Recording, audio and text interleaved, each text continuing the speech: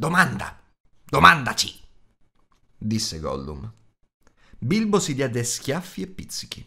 Si aggrappò alla sua piccola spada, cercò perfino in tasca con l'altra mano e vi trovò l'anello che aveva raccolto per terra nella galleria e di cui si era dimenticato. Cos'ho in tasca? disse.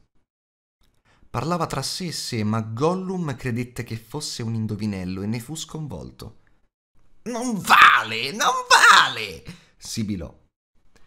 Non vale mio tesoro, non vale domandarci cos'ha esso nelle sue brutte tasche.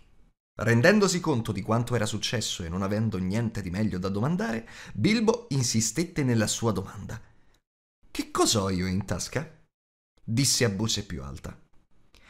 Mm, sibilò Gollum. Deve farci dare tre risposte, mio tesoro, tre risposte. Benissimo, sotto con la prima, disse Bilbo. Mani, disse Gollum. Sbagliato, disse Bilbo, che per fortuna aveva tolto la mano dalla tasca. Prova di nuovo. disse Gollum più agitato che mai.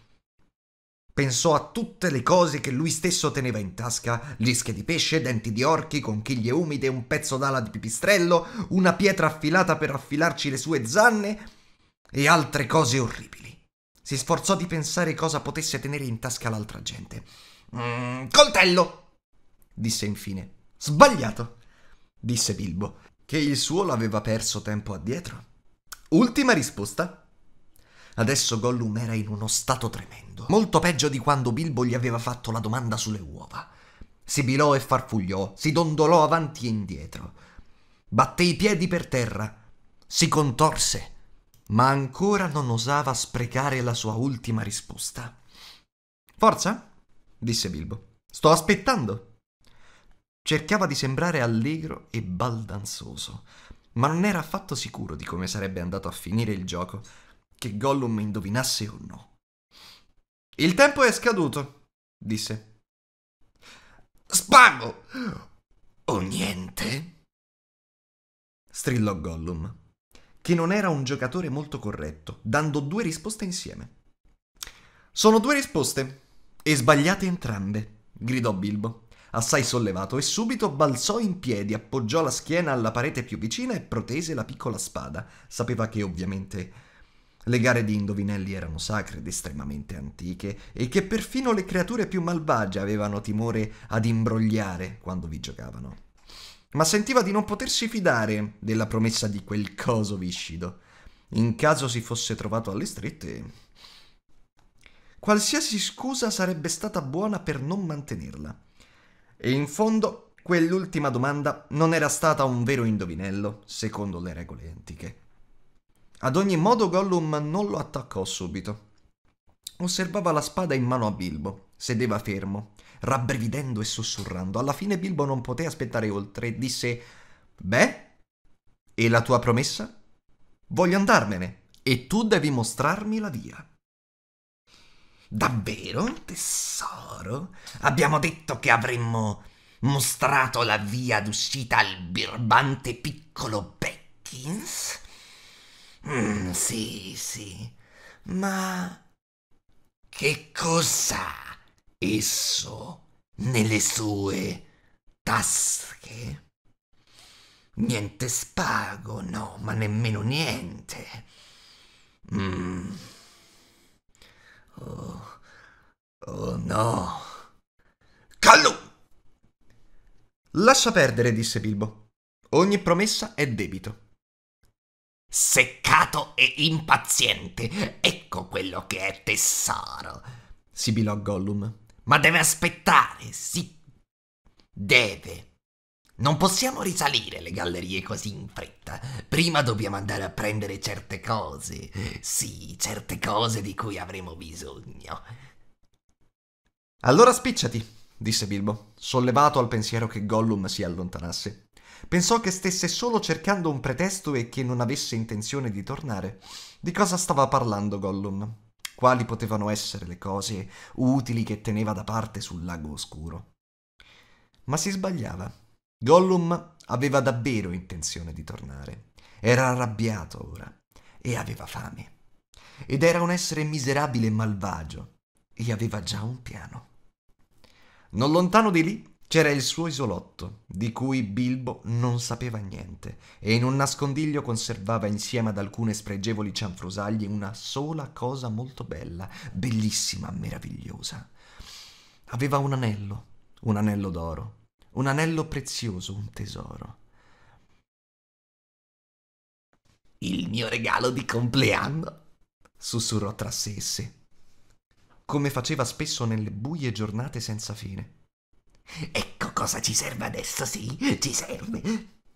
Gli serviva perché era un anello magico e se uno lo infilava al dito diventava invisibile.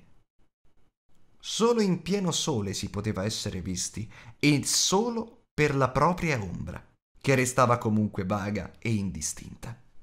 E il mio regalo mi fu dato per il mio compleanno, il mio tesoro. Questo era quello che si era sempre detto.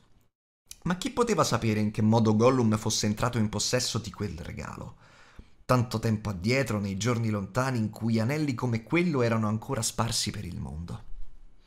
Forse neanche il signore che li governava avrebbe potuto dirlo.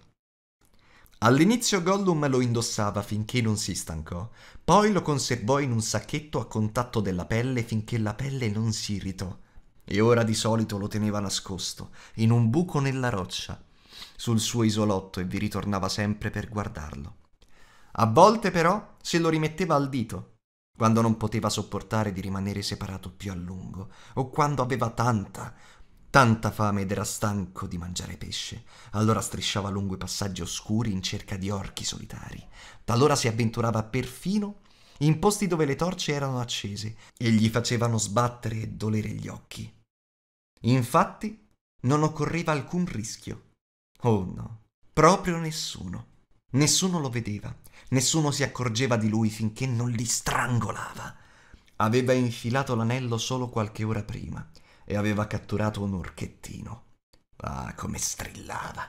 Gli erano rimaste ancora un paio di ossa da rosicchiare, ma voleva qualcosa di più tenero.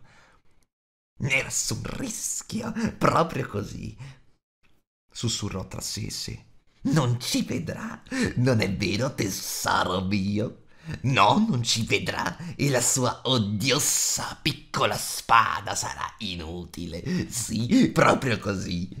Queste erano le idee che passavano per la sua testolina malvagia. Quando improvvisamente filò via dal fianco di Bilbo e scivolò di nuovo sulla barca andandosene al buio. Bilbo pensò di averla fatta finita con lui. Comunque attese per un po' non avendo idea di come trovare da solo la via di uscita. Ad un tratto udì un grido acutissimo che gli fece correre un brivido fin nel midollo delle ossa. Non molto lontano da dove era risuonato il grido, non molto lontano da dove si era sentito il grido, Gollum imprecava e gemeva. Nelle tenebri, sul suo isolotto stava rovistando dappertutto, cercando e perlustrando invano. Dove sta? Dove sta? lo udì gridare Bilbo. Si è perso il mio tesoro, perso, perso. Morte e dannazione a noi, il nostro tesoro si è perso.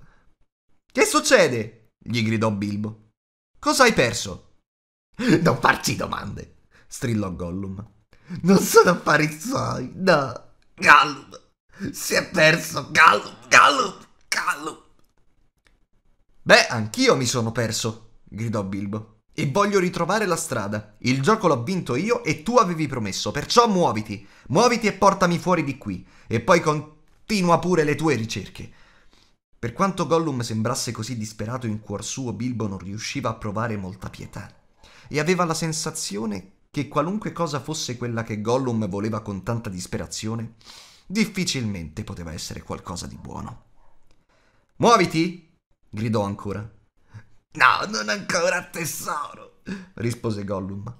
Dobbiamo cercarlo. Si è perso. Gollum,